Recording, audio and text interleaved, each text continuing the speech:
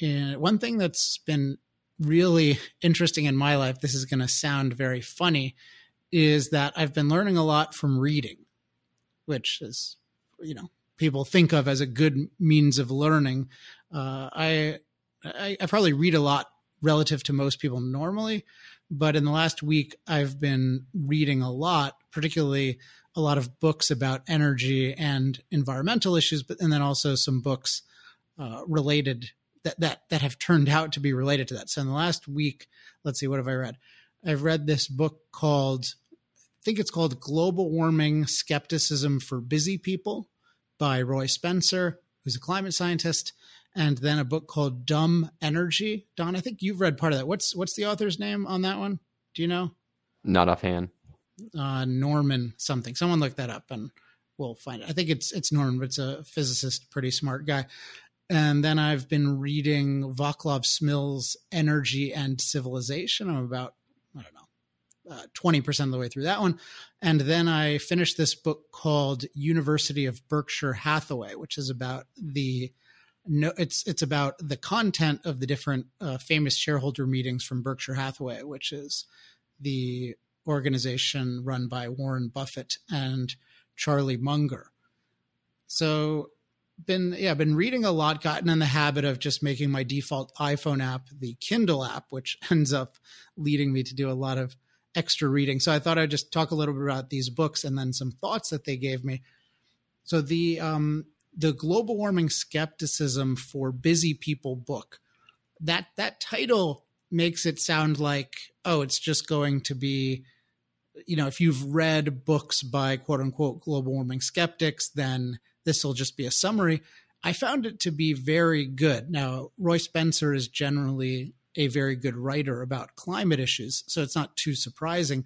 But this one in particular, I found to be very good, particularly in that he gives he gives a very causal description of how climate works. That's one thing, is just explaining things like greenhouse effect very, very clearly in a way that's easy to visualize for the most part and also he he exhibits a lot of the virtues I've talked about in terms of what we should want our knowledge system to give us. For example, he talks about, you know, he addresses the uh, some strong arguments from other people against his viewpoint, and he expresses degrees of certainty and uncertainty about different things, and he gives explanations of where the evidence comes from.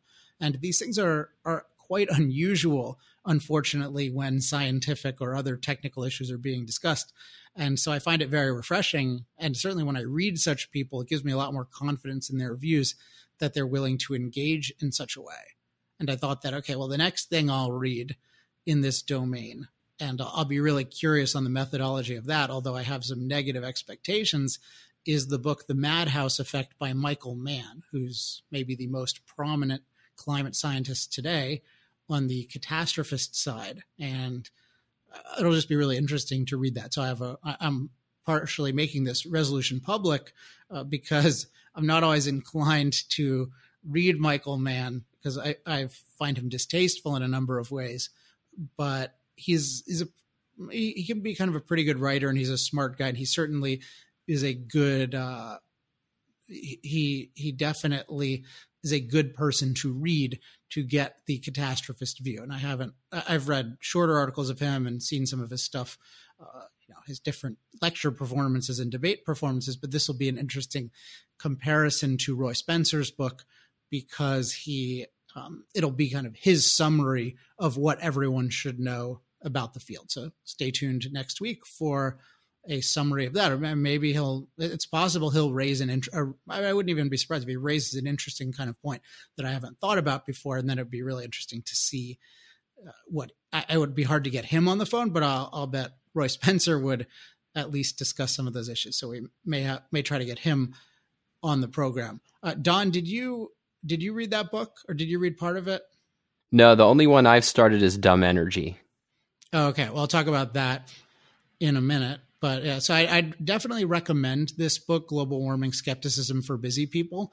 Just uh, yeah, if you want to understand that viewpoint. And one thing that's good about it is he's very explicit about okay, I have a point of view. I'm not every climate scientist. I'm not even every global warming skeptic, but here's how I think about it. And I think he does a good job of explaining his view and also situating it in the context of other people's views. So that's that was a that was a good read and has been helpful in thinking about the climate sections of the moral case for fossil fuels 2.0 and in particular how to just give even clearer cause and effect explanations about how climate works and then how that relates to the broader issue of what I'll often call climate livability since we we need to understand the climate itself, particularly the atmosphere and how that works. But then ultimately, what we're interested in is how livable is the atmosphere. And that's going to be a combination of the state of the atmosphere, but then also the state of human resources and capabilities to deal with the atmosphere, including to take a given type of atmosphere and make it much more livable. So I, will sometimes use the example of if you have a, a, a tough thunderstorm going on, 300 years ago, that atmospheric situation could have threatened your life. And now it can be a romantic setting for a couple to have dinner because they're so protected from it because of their resources and capabilities. So definitely uh, check that out if you're looking for something good to read. Now, this book, Dumb Energy, this, I like this. I, I don't recommend it as consistently as I recommend the Spencer book, but it actually, but I, I do recommend a lot of it. And it actually probably led to or helped more of my own thinking than the, the Spencer book did, although that has helped it a lot too.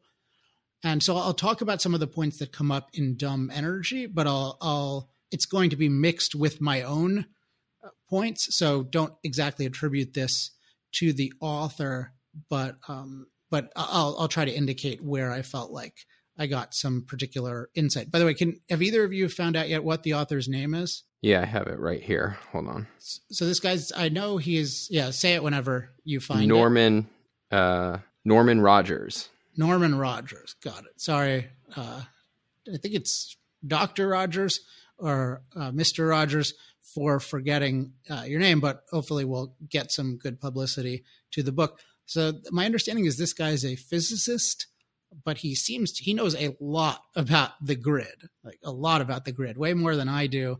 And so that I really like it when I read about the electric grid and it's from people who have either a lot of direct experience from it or this guy, he just might have the mind that has just studied it really, really well.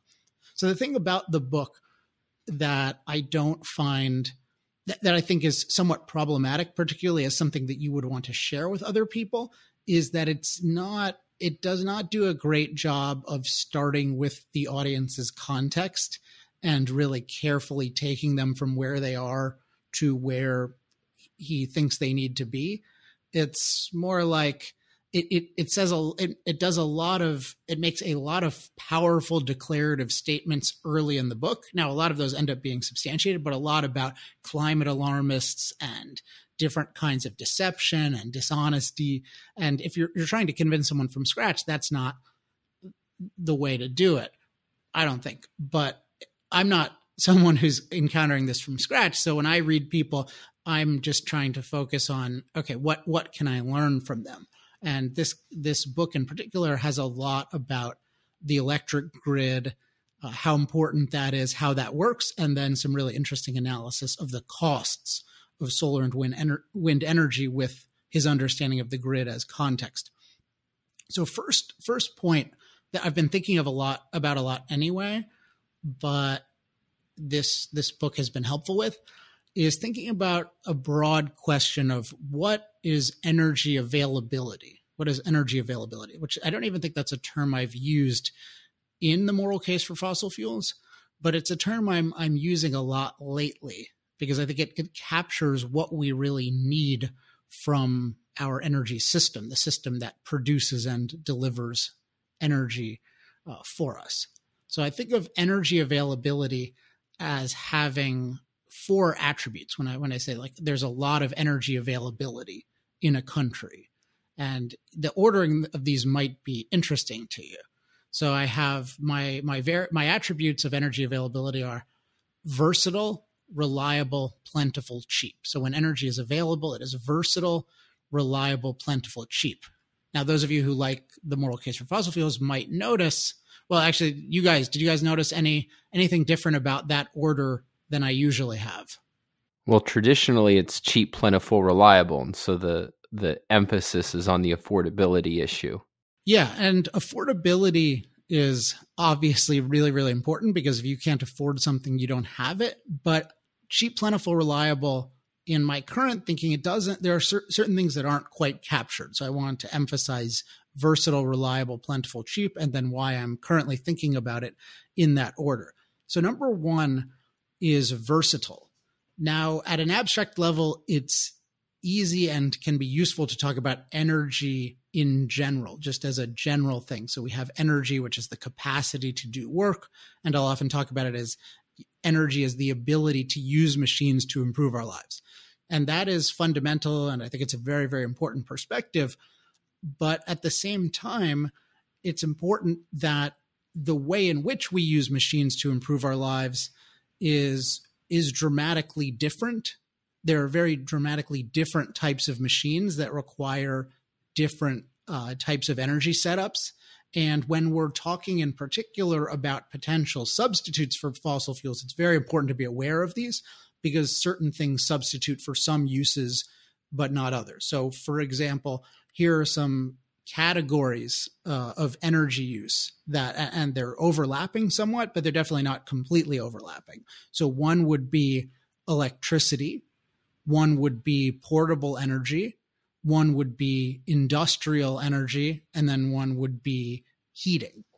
Now, uh, I should so uh, you know electricity that's pretty self-evident that that generates electrical energy which is this incredibly versatile type of energy but then there's portable and one thing we've talked about a lot is that electricity is not you can run it I mean if you can run it somewhere then it's portable in that sense but in terms of a mobile uh, application like transportation, there are all kinds of, of cases like airplane flight and even like farm equipment that has to go autonomously long distances, and then uh, certainly going across the ocean where electricity it doesn't work very well because you don't have the right kind of storage system, and so then you're using petroleum, or in the case of an aircraft carrier, you're using uh, or a submarine, you know, you're using some sort of nuclear solution.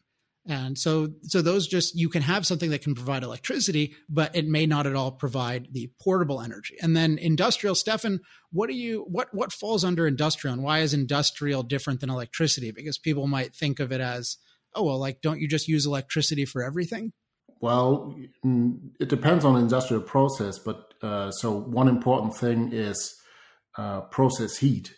So a lot of industrial processes need uh, some kind of efficient heat energy. For example, uh, Canadian oil sands require a lot of steam, so you need need heat to create the steam on site, and, and that obviously is a different form of electricity. Now you can translate this if electricity is available to some extent, but it's usually not efficient. Yeah, and I, and I want to jump on that point about it's not efficient. So the way electricity works most of the time is that what you're usually doing is you have some sort of heat engine. So, like, you have some fuel source, like whether it's uranium or coal or whatever, and then you're basically using that to generate a whole bunch of heat. This is oversimplified, but that creates pressure that moves a turbine that then can, you know, using the Faraday effect, can create electricity. And then what's happening then in terms of of the what's called the heat content or raw energy of the thing is that you lose quite a bit of the raw energy in turning something into electricity. So if you just take natural gas, that would be the easiest thing. Like you might use natural gas to create electricity. And let's say if you had a really, really good setup, half of the raw energy would become electricity. Um, okay but then let's say you want to use that electricity to heat something up like you want to have it heat the home. Well then that electricity has to go over a transmission line and then it has to power an electric motor that kind of does the thing in reverse that created the electricity in the first place and then that'll have heating elements and then that'll be like a space heater in your home. And sometimes people are aware that the space heater in their home is pretty expensive. Well why is it expensive? Because it's generating heat. By generating heat then turning that into electricity, then transmitting the electricity, and then turning that into heat. And what happens is a lot of the raw energy is lost. Whereas if you use natural gas heating directly, then you can uh, sometimes capture 97% of the raw energy instead of what might end up being 33% of the energy. So in processes where it's very important to heat things, and as we're in the winter and in most places in the US, uh, this is something that's very close to home. You really want to be able to heat things efficiently. And so if you're if you're turning things into electricity and then into heat, that can end up costing a lot. And the same thing can be true for industrial processes where you need lots and lots of heat. You want to figure out an efficient way to do it. And so it's usually not use a bunch of heat to generate a bunch of electricity, losing a bunch of the initial heat, and then generating heat from there. And so this is why th- these are some reasons why we don't just use electricity for everything. We use these other forms of energy. Um, you know, we need portable energy, we need electricity, we need industrial energy, we need heating, and those there, again, there's some overlap, but they end up being these very distinct categories because for those use cases, electricity is not always the thing that you want. So that's just one thing is when we're thinking about availability of energy, it means availability of energy for for every purpose. For, that's why I use versatile. So you need energy, you need a system that can give you uh, all it had that has the versatility to give you energy for all of the different use cases. So that's that's one of them. And then the next one, reliability, and this is where the book Dumb Energy I thought made some really good points. And in fact, these points were echoed in the book about Berkshire Hathaway, where Warren Buffett and Charlie Munger are talking about energy, sometimes inaccurately, I think. But one one point that they made repeatedly, particularly as I as I was looking through the reading the history is really interesting because you get their commentary on different events. It was really interesting to see oh, what what were they saying about the California electricity crisis? And one point that they made that Dumb Energy made much more comprehensively is just how bad it is to have a blackout. How much it matters that your energy and in particular your electricity on the grid is available on demand because when that grid goes out for any significant amount of time you're losing just billions and billions and billions of dollars and this is where cost can confuse people because they can see, oh, well, this form of energy is slightly more expensive than this other form, and therefore let's just use the cheaper form. But if the cheaper form compromises your reliability, then it's not really cheap because at some point it's going to, if it's contributing to grid instability, that is that is the kind of thing that should really really scare us you, you know even an hour things going out but let alone going out a day, two days, just so much relies uh, on a stable grid that it's it's almost scary. I mean, it's it's impressive, but it's it's scary just to think about. Okay, what would happen if the grid went out for for three days?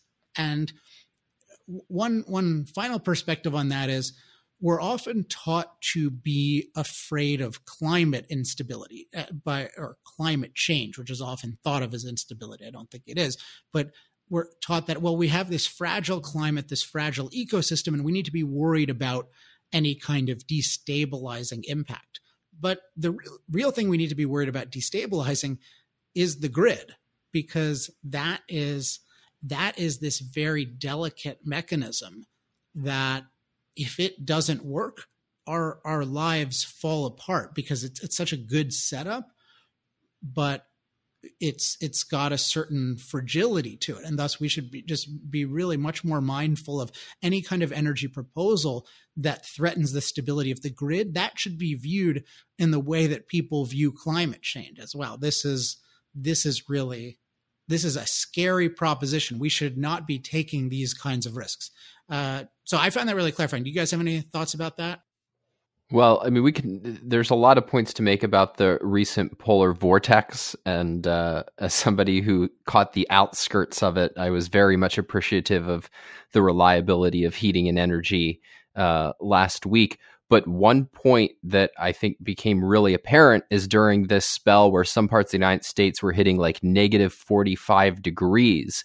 Um, solar and wind in many cases were producing nothing or virtually nothing. I think in in um, Minnesota, which got some of the worst of the weather, it was producing 24% of its capacity, which means you know they've installed uh, you know a, a certain amount of solar and wind and you'll get headlines saying, "Oh, there's this much capacity." But what we can what we care about is its actual ability to provide us with energy, and it was only getting a quarter of its potential during this period, and so people were kept warm by mostly coal and uh, and and natural gas, and they kept the lights on because of coal, natural gas, and and some nuclear, and the fact the the Xcel, which is the utility there, like they've announced that they want to be 100% non CO2 by 2050.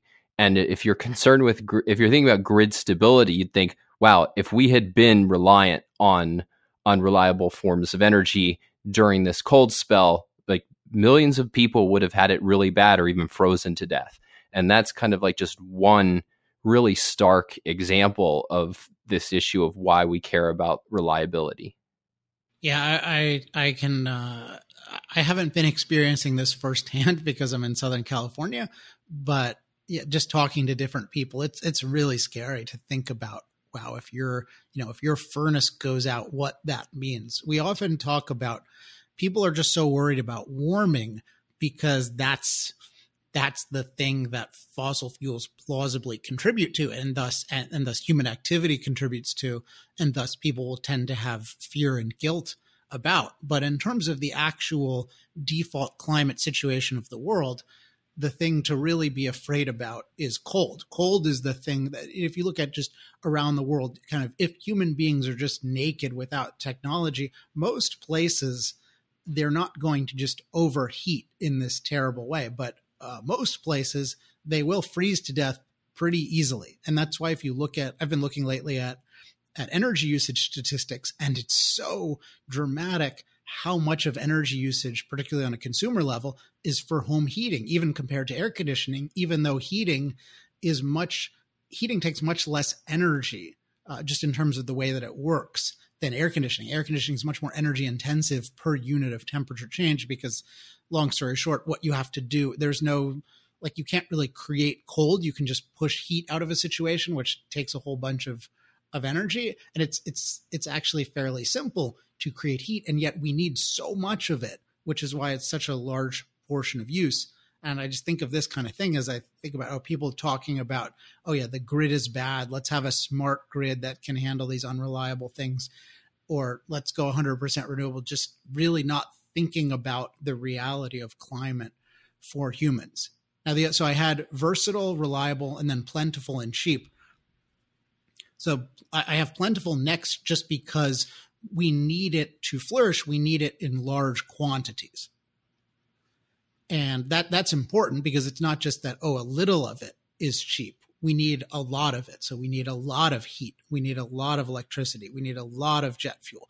And so it's just important when we're thinking about how the system works, it needs to give us, uh, it needs to be versatile, it needs to satisfy all these use cases, it needs to be on demand, reliable, and then it needs to be plentiful, available in large quantities. And then, of course, it needs to be cheap. We need to be able to afford it.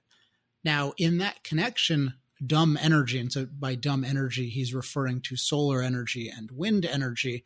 He had some, um, Norman Rogers had some good analysis of the costs of these that were in many ways related to some topics. I think this was on the first new episode of Power Hour where I talked about Bill Gates versus Elon Musk. But I, I thought I'd share two two uh, kind of calculations or models of calculation that I've been thinking about and that Norman Rogers certainly helped with. And one is how he measures the cost of solar and wind. And he has a I, hope I'm not butchering this, but he has a here, here's at least how I am thinking of it in connection it, as informed by what he wrote. So the way the way to think of it is how much does a um, you know what is the you'll often think of okay what is the cost of solar energy or wind energy and and how do you calculate that and the key insight that I totally agree with, but that he really uses in his calculations that I haven't seen others use in their calculations is, is this. that if you want a system that has significant amount of intermittent energy, then what you need is you you need to pay the cost of both the intermittent infrastructure so that's like the turbines the construction the transmission lines land maintenance etc and you need to pay the cost of the reliable infrastructure. So this is the, the key point. If you want intermittent energy you need to pay the cost of both the intermittent infrastructure and then the cost of the reliable infrastructure because the intermittent infrastructure needs life support. And because the need for life support is so fundamental, and because the intermittent infrastructure can produce less than 5% of its theoretical capacity at any given time, you really have no replacement of the, the, the you need the entire reliable infrastructure that you would need anyway. So you really save nothing on infrastructure cost. In fact, you're, you're going to increase certain of the in, in a sense, you're even increasing the cost of the reliable infrastructure. But if if we put things like so, so he has the example of for a certain kind of gas engine, if you're going to integrate it with solar and wind, you need to add this whole battery capacity to even allow the sub the switching between one and the other. But let's just say you have the reliable infrastructure that would be perfectly capable of running, let's say, a country, and then you need the intermittent infrastructure on top of that. So that's one thing where you're always going to have that extra cost. And then the question is, what is the savings? And then his the the basic way he puts it, which I think is right, is he says, well, then the only savings that you're going to have is the cost of your saved fuel. So when the when the um, solar panels are working and the wind turbines are working, you still have all of your reliable infrastructure cost, but you can save you save in fuel what you don't need to use. So if you say have natural gas at 2.2 cents a kilowatt hour and then the solar panels are running, then you don't need to use that fuel. So you've saved that, but you're still paying for all of this infrastructure. And therefore, per unit of energy, solar and wind have these massive prices. So I thought that was a, generally good way of thinking of it. But one point that he mentions kind of in passing that I think is much more important that I've mentioned on other episodes of this show is it's not just you can't just look at the cost of saved fuel um, that because you also have to look at the cost of wasted fuel and that's the cost of making the reliable energy more uh, less efficient. So i've talked about how it's like stop and go traffic when you're trying to when you're trying to support erratic power with reliable power, the reliable power becomes a lot less a lot less efficient. Just like stop and go traffic is a lot less efficient than driving down the highway. So it's really you have to pay the cost of this amounts to the co- the added cost of the intermittent infrastructure. You subtract the cost of saved fuel, but then you have to add the cost of wasted fuel. And then if you just compare that with the reliable system, you have no in- intermittent infrastructure. So you have the same infrastructure cost. And then you just have, you know, a fuel cost that's pretty small, particularly uh, when you discount the wasted fuel issue. So I thought that was just a good.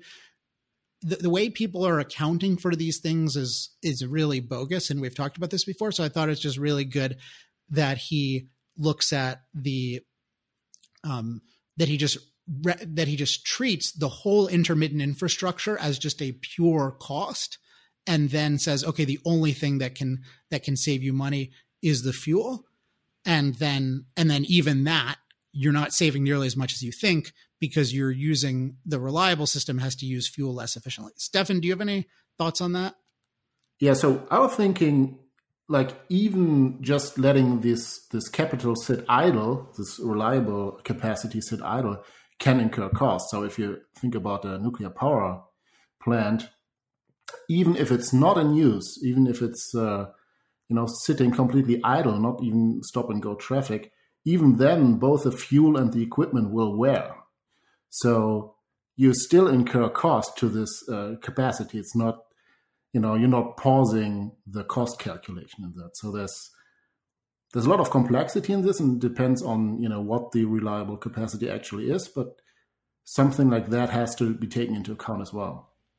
Yeah and so maybe infrastructure uh, isn't quite the right term because it it might have the implication of being static but i'm i'm just trying to separate it into because there's the fuel cost and then there's everything else. And with solar and wind all people want to talk about is the direct fuel cost and they don't want to talk about everything else. And yet, whenever you're looking at those, you have to factor in the whole operational uh, cost, uh, including the, what I'm calling the infrastructure cost of the reliable system. So you're not you're not getting rid of that. So you have to think of it as you don't just think of it as oh I'm just running solar and nothing else. No, you you are still you still need to pay for the whole life support system because somebody is paying for that. So that's that's one thing that I found useful is just how to cost how to calculate the cost of unreliables or intermittent energy sources when you have a fuel based backup net or life support. Then there's a question of okay, how do you do it with batteries? And this I was just thinking about this this morning, and I got I got a little bit intoxicated with making the calculations.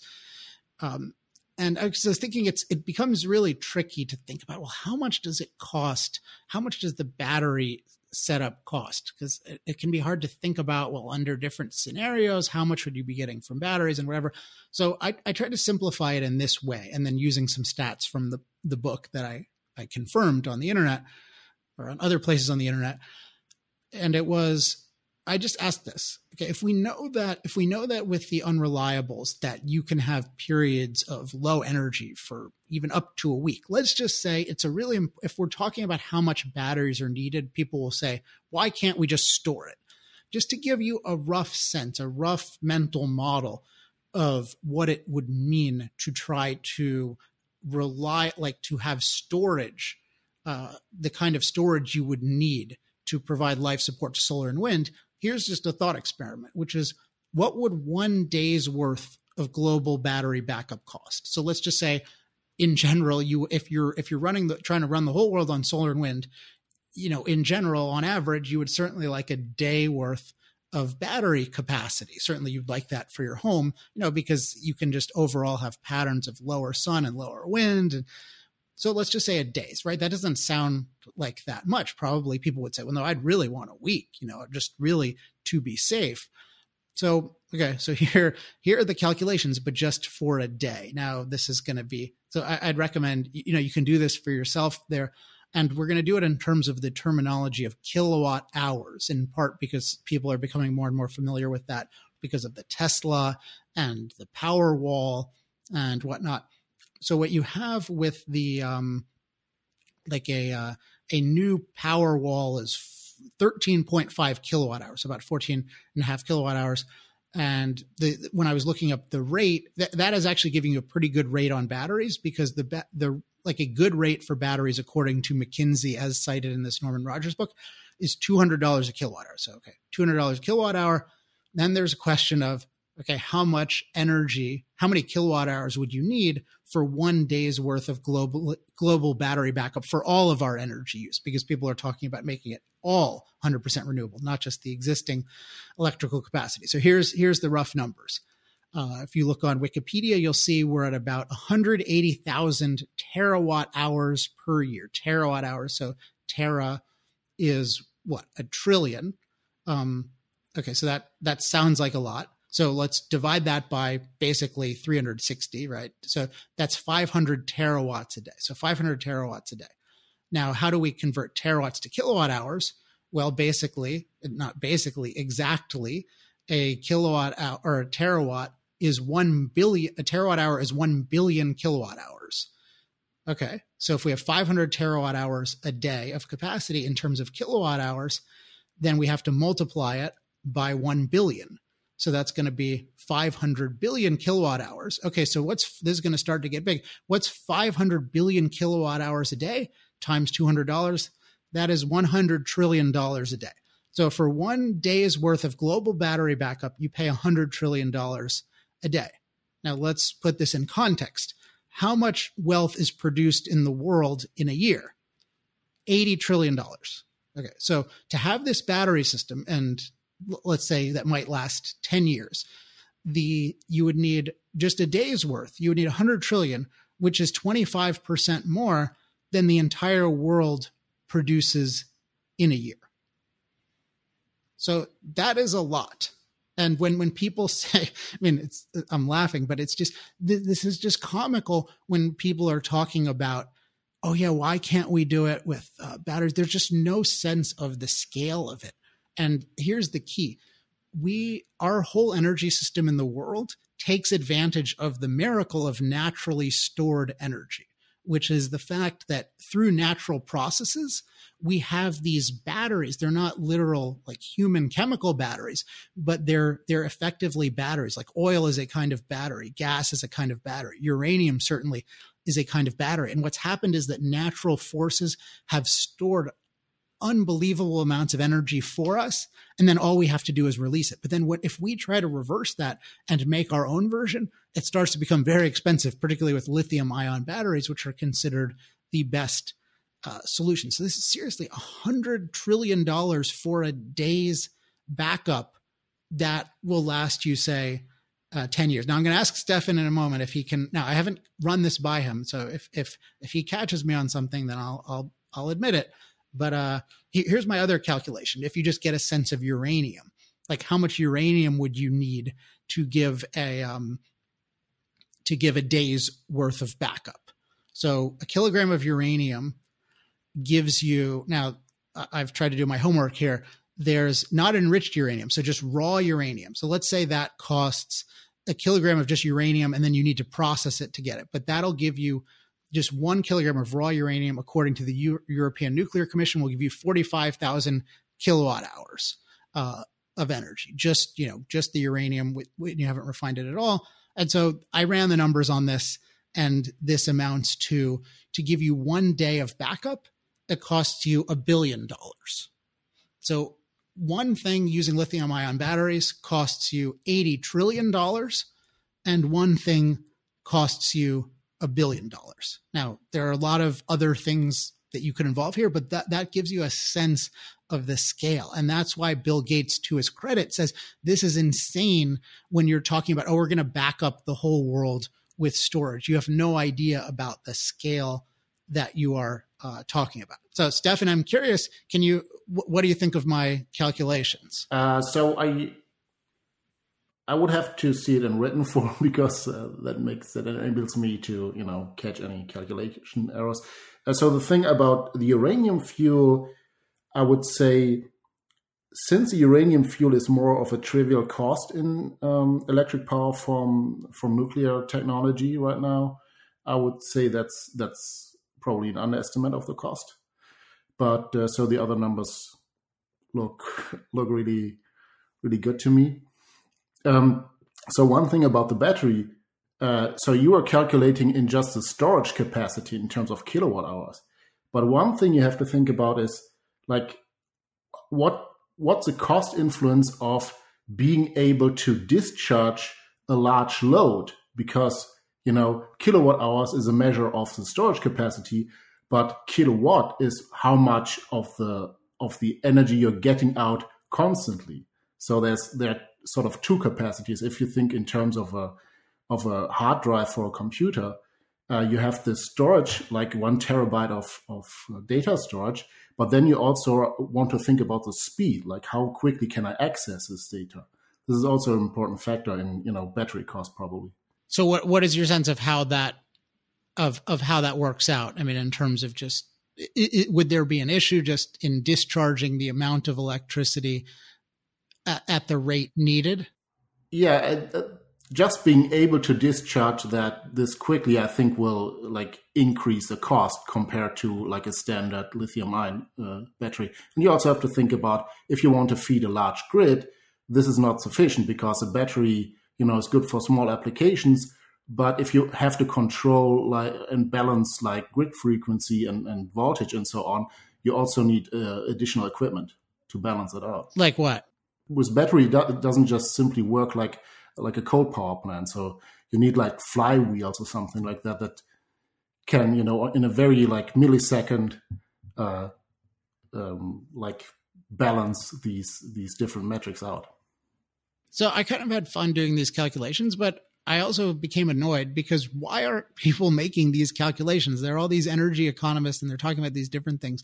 And there's just so much bias in the system in favor of the unreliables that people just vaguely like to say, oh yeah, they'll, they'll like they like to account for the cost of the solar in terms of oh solar panel costs are going down, but they're not just talking about no, you need to account for the whole cost of the reliable energy system that your solar depends on, and you need to account for all of the fuel waste that your solar causes, and you can only really subtract uh, the you know any any fuel savings you get but that's pretty small amount of money. And that's why all of these systems that are adding solar adding wind are having way more expensive electricity. Just this is this is not uh, to be cliche rocket science but there's there is just a catastrophic level of evasion. And then with the battery thing just not people talk they'll just give you all these graphs. Oh batteries are growing gigafactories growing but just not giving you a sense of okay, what would it actually mean to back up the world for a day? Oh, it would mean more, it would mean completely like, you can't even talk about what it means to spend more money than the world produces in a year, like what, what that um, amounts to. So I hope that the, that people find this, this clarifying in terms of, oh yeah, really understanding this point that the unreliables always have the cost of the reliable energy infrastructure and that the cost of batteries to back up even a day is just is insanely high. And maybe you can pass this along to people who just talk really u- loosely about replacing fossil fuels. The, the thing about fossil fuels in particular is that they're just so good at providing versatile reliable plentiful cheap energy that it's just there, there's no concept of how much achievement has gone into that and thus people are will readily think oh because i have negative associations for that with that then it must be possible to do it with something else that i have positive associations with versus recognizing no whatever the challenges involved in this thing it is an amazing uh, achievement and it is it is providing this available energy that is fundamental to our entire material flourishing which I would think of as primarily like the resources and capabilities that we have. In a sense, you can model material flourishing as it's kind of your resources plus your capabilities minus your risks. And those all go together because the resource and capabilities help you deal with the risks. But if you then think of what is the contribution of energy availability to that in terms of increasing your resources, increasing your capabilities, and decreasing your risks, it's just so fundamental um, that it's it's almost impossible to to appreciate fully.